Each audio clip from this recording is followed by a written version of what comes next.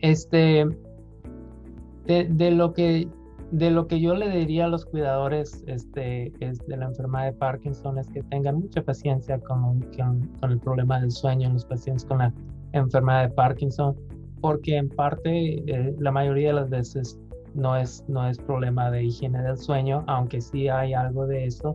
Este, usualmente a veces se vuelve el problema de la higiene del sueño secundario al no poder dormir.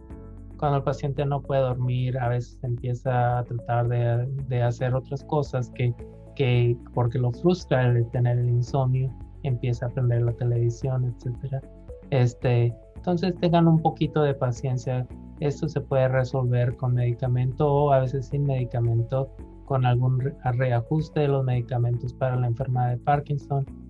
Este, siempre discutan este, con sus médicos el, el, área del sueño. El área del sueño requiere un, un, una evaluación completa.